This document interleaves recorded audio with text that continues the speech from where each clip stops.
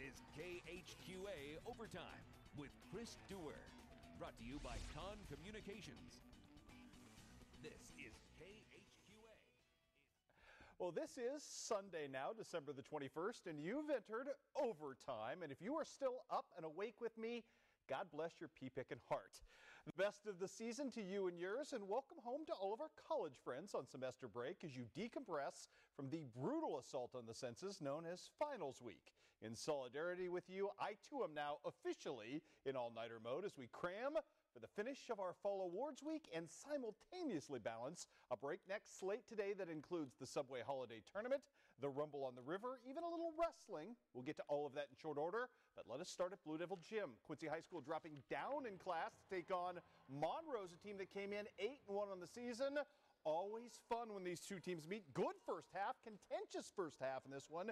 Jacob Jode gets it going for the Blue Devils on the right foot with a long three there. Then it's a heaping helping of Reagan Tenhouse, who had himself a really nice night. Good stuff from him on the inside going up with a reverse lay-in for the three-point play. More from Tenhouse right here off the pretty feed. Great take right there. But in this ball game, Monroe's wouldn't go anywhere. The first half, a bit of a stalemate. Here it's Clayton Wyrather. Nice little scoopage for him.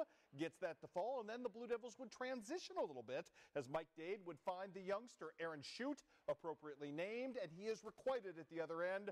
Parker Bland had a big night in the second half in this game to break what was a tight game at the intermission, and the Blue Devils bounce back after their loss to Galesburg. They win 63 to 49 was your final there. Elsewhere tonight, or actually this afternoon, Camp Point Central playing host to Liberty. Bad loss for Liberty and Macomb trying to bounce back. Central trying to not let that happen as Nathan Stoner lets fly from the corner right there. Corner three for him.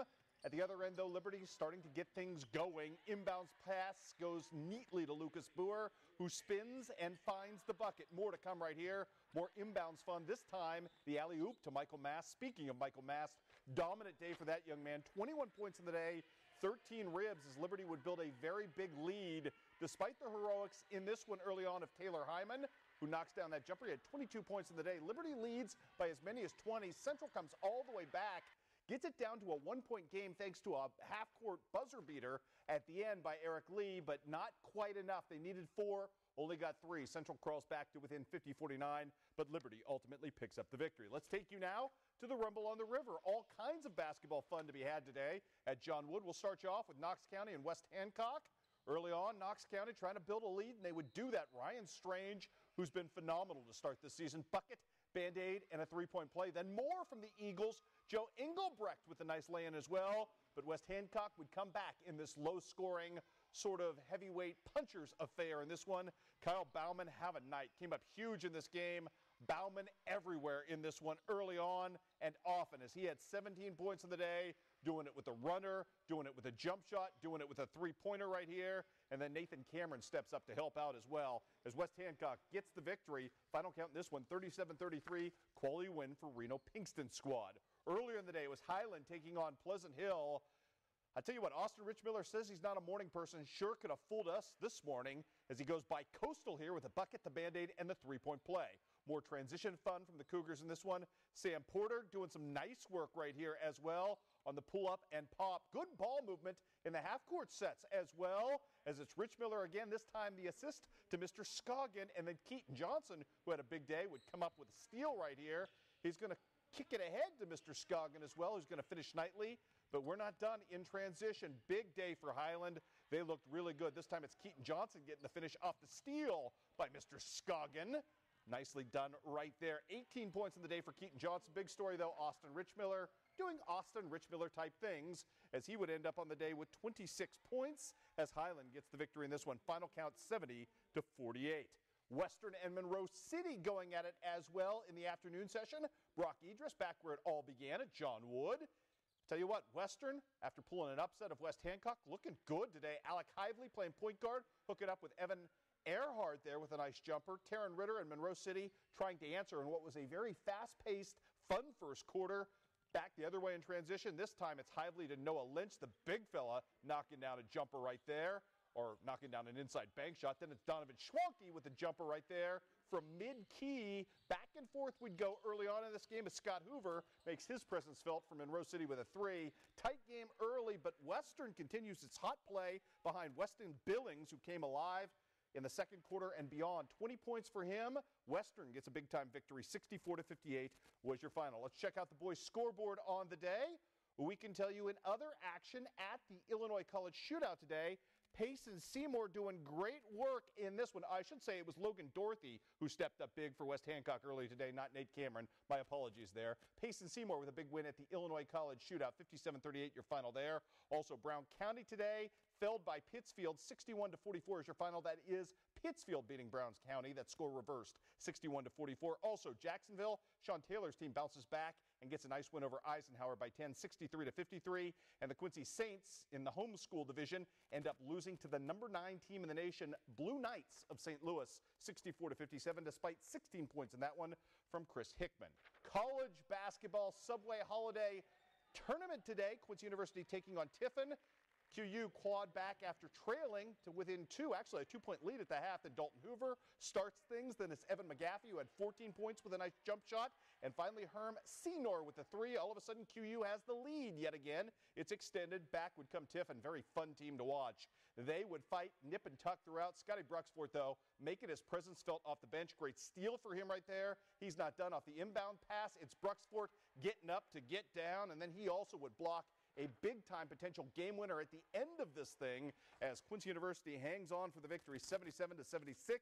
Up next for the Hawks, they will be taking on Kentucky Wesleyan at 5:15 tomorrow at Pepsi Arena. Kentucky Wesleyan a winner over Hillsdale 80 to 76 was your final there. Also, we have women's college basketball for you as well from Pepsi Arena. Carly Betancourt and company taking on Robert Morris of Springfield. Carly Betancourt right there with a long three. She was ably assisted in a very balanced effort for the Lady Hawks today. Nakia Edom hooks up with Kara Gerbis for the easy lay-in. As I said, everyone sort of had a hand offensively in this one for Jenny Garber's team. Erin Menemeyer working the post and working it effectively. More from Carly Betancourt, this time playing the setup person to Sierra Young who finishes pretty in transition. All kinds of QU fun today as the Lady Hawks win big time over Robert Morris. Final count in this one, my friends, was 99 to 43. And one other score to pass along on the day as well from the college women's ranks. Culver Stockton loses at Truman State 86 to 74. That game, though, only an exhibition game for the Lady Wildcats on the day. And we are just getting warmed up right here. When we come back, we continue the awards week fun with football as we announce our KHQA 2014 Football Coach of the Year, a rather unconventional choice.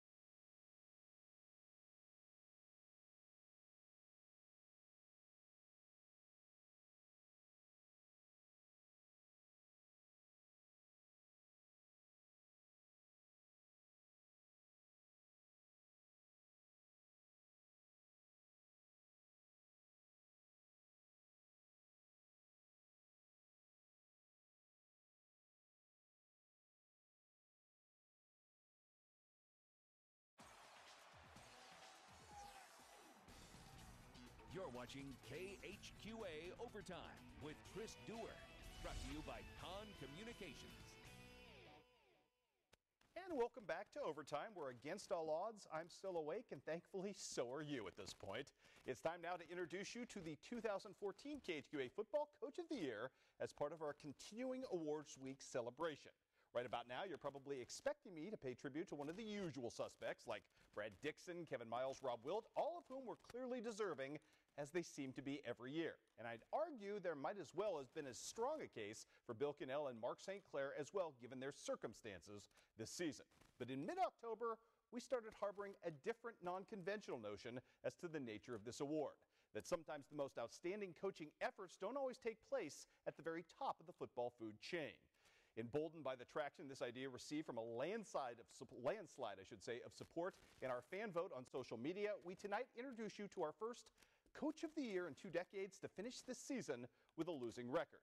Now, Blake Logan was a heck of an athlete in his own right at Louisiana High School not so very long ago, and one who clearly caught the coaching bug early in life.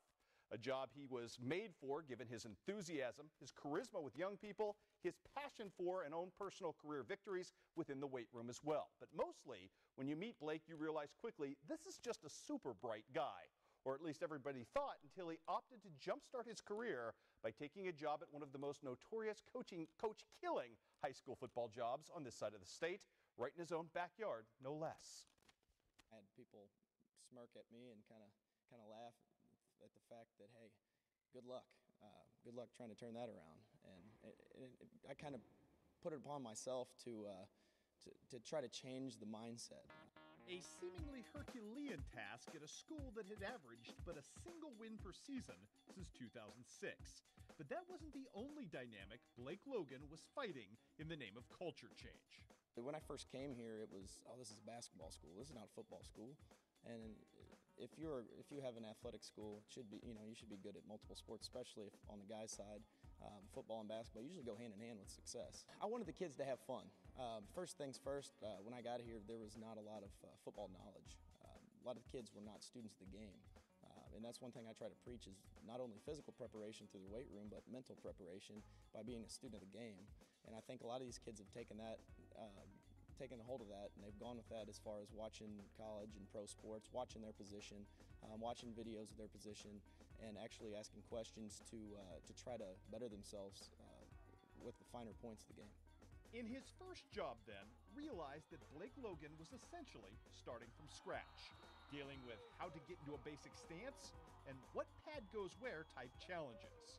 And if that wasn't daunting enough, know this the Van Far skipper is also just 12 months removed now from a true darkest before the dawn moment that might have made a lesser optimist fear that his program had any future at all. Last year, I don't know if you know or if anybody else knows, but we ended up we ended up going up to our district game and dressed out 12 kids at Clark County. I knew what was coming up, and uh, I knew we weren't losing a lot, and uh, kind of just stuck with it. And uh, and the kids that played through that season last year were much stronger because of it. And, uh, and, and, they've kind of passed that toughness and down to the, to the freshmen who came in this year, which was a bigger class. And we also have another big class coming up. So, uh, yeah, like I said, it's, uh, it's, it, it's going the right way for sure. And it is in that vein, then, that we argue that Blake Logan did as good a coaching job as anyone in the region, perhaps as sharp a job as anyone in the entire state of Missouri that his Indians 5 and 6 mark this season, including a first ever school playoff win earned at the expense of Clopton Elsberry, gleams as brightly as a 13 0 mark earned more easily elsewhere. The simplest thing in the world for us to do with this award would be to bestow it to the guy with the most wins every season. And if that was in fact the measuring stick, the Van Far skipper wouldn't be in this conversation because he doesn't have the most wins and he didn't bring a state title to Vandalia this fall. Heck, his program isn't remotely close to that yet. But it is undeniably, immeasurably closer. And in that, there is hope and excitement where not so very long ago before, there was none. When you win, we can kind of snowball. Uh, winning's contagious, and I think a lot of these freshmen, they don't know any better. Um, the junior high group, they went five and one. Uh, so we got kids that know how to win moving up through the program, and they don't they don't know what, what what's been going on in the past. Uh, so uh, like I said, winning's contagious, and I think these kids are uh, coming through here with confidence, and that's not just only in football; it's in other sports as well. Well, this is the first year now that KHQA is also recognizing a Fall Sports Coach of the Year, read non football. And that award, we turned over the voting entirely to our voters on social media. I gave you three sensational candidates to choose from an already minted Hall of Famer in Melissa Friesmeyer, who picked up her second state championship this November with Holy Trinity Volleyball. Also, a rookie skipper in Logan Stapp, who led Canton Softball to a third place state finish. And also one of the most unsung coaches in our area, Sarah Mueller who's turned Canton boys soccer into a state player and this year a state runner up. And in an avalanche of votes, Logan Stapp becomes the winner. In her one and only season, Stapp led the Lady Tigers to a 21 7 finish and a place in the state Final Four, preaching a platform that with belief anything was possible, and it certainly was. Obviously, that paid great dividends with a freshman ace, three freshmen in the lineup, and a largely very, very young lineup overall in play. It's also a bit of a bittersweet celebration, however, as earlier this week, Stapp stepped down as Canton's coach for what we've only been told is a conflict of opinions about leadership of the program. So congratulations to both Logan Stapp and to Blake Logan on their outstanding seasons. The awards continue tomorrow. Our biggest of all, KHQA Football Player of the Year. But we've got more basketball highlights coming your way next.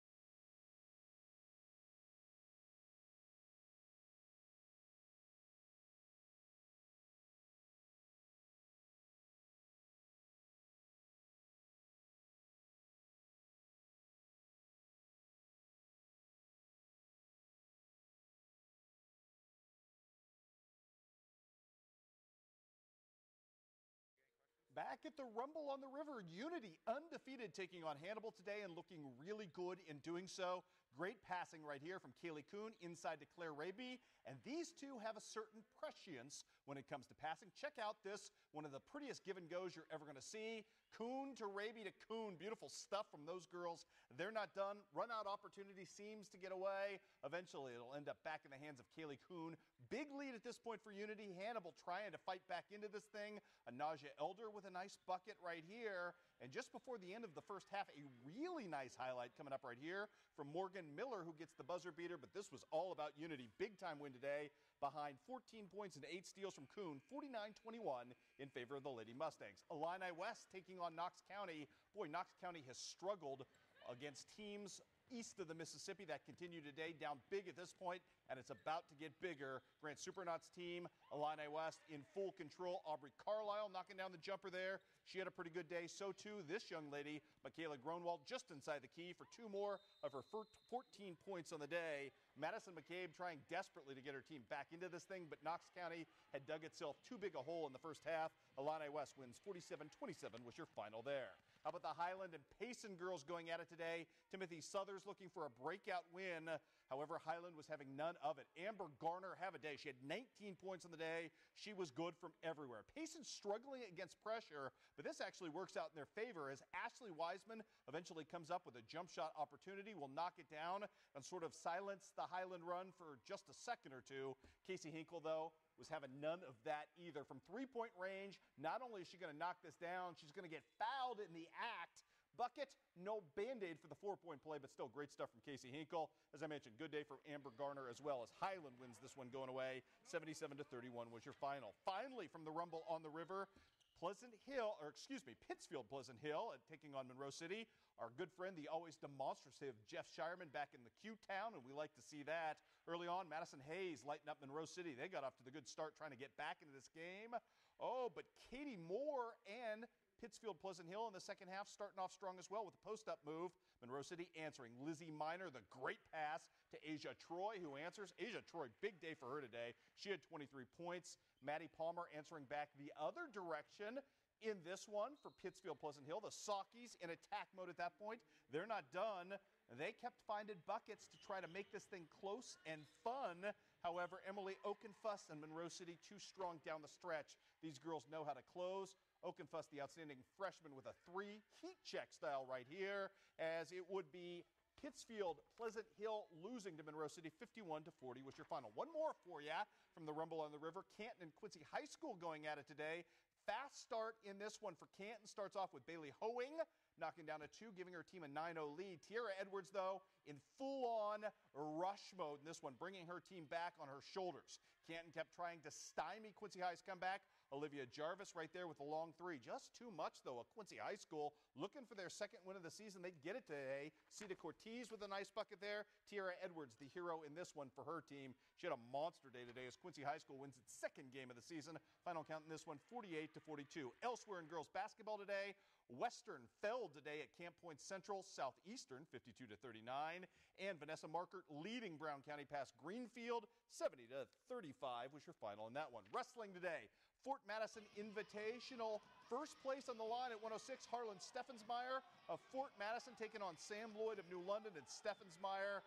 Boy, he's got the cradle locked in, and you don't get much more pin than that shoulders to the mat, and Mr. Steffensmeyer is going to be your 106 pound champion there. Good one today at 113 between Brett Hamill, the outstanding youngster from West Hancock, and Logan Donaldson of Burlington. Hamill muscles his way to a pin. It came at the 259 mark right here. That's just a brute force move. And wow, gets everything turned in and turned over nicely. Brett Hamill's a name to remember, going to be a really good one. 126 pounds. Well, that is the domain of one Will Lucy. Lucy got in a bit of trouble at one point. Looked like he might even, wow, be in a position to get pinned, but Lucy does what Will Lucy does. He gets out of it, scrambles, finds his way to the reversal and the escape, and then eventually dominates from that point on down to win a 13 2 decision. He was pumped for the victory, and congratulations to him. Also, taking first place today at 132 from the host Fort Madison Bloodhounds. Big day from Tanner Hawker, who's a very, very talented wrestler, taking on uh, Jacob Lohman today from West Hancock. Hawker would dominate this match with a pin that's going to come right here in 38 seconds. You see him now Mr. Hawker really good as well as Fort Madison shows out with a couple of championships as well there today. Don't have final results, but can tell you that uh, Fort Madison and West Hancock both with champions and with good showings on the day. Also want to pass along these notes today at the Fort Zumwalt East Tournament. Hannibal today ends up coming in eighth out of 23 teams. Congratulations to your tournament champions as we go to the scoreboards. Chandler Foey and Kyle Muring today. No surprise they're defending state champions. Also today, Quincy Notre Dame at the Clinton Invitational comes in 10th out of 12 teams. Four guys placed, including Zach Haley, who set the pace today with a second place finish at 126. And at the Mascoutah Invitational, Three good showings from the Blue Devils in terms of guys that placed as Quincy High finishes second out of 25 teams. Logan Hagerbomber, the bomber at 182 today. Big time showing from him, winning the championship of his division. And we'll have more overtime for you coming up after this.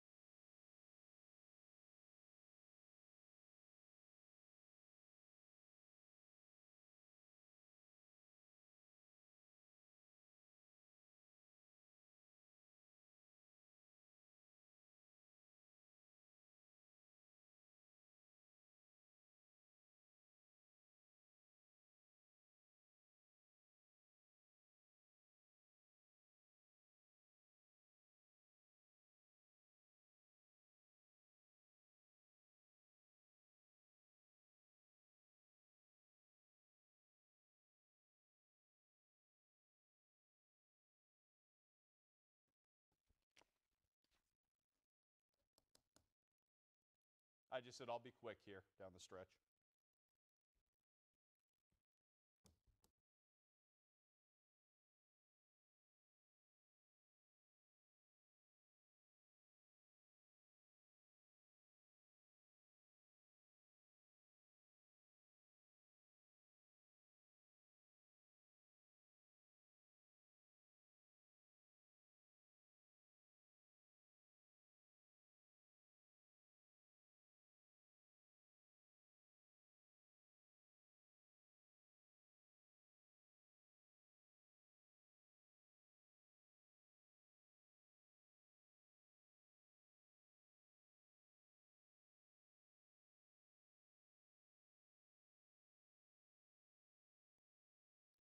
Your latest Con Communication Connection nominee comes to us from those undefeated Unity Lady Mustangs today against Hannibal. It is that combination of Claire Raby and Kaylee Kuhn.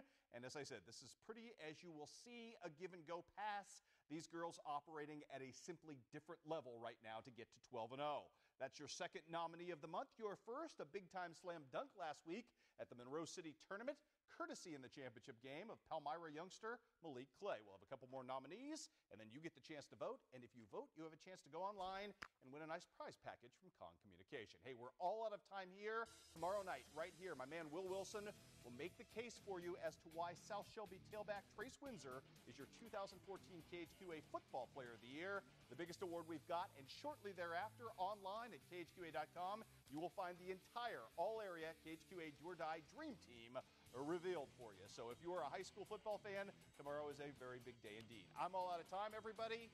Have yourselves a great rest of the weekend and enjoy the wrestling.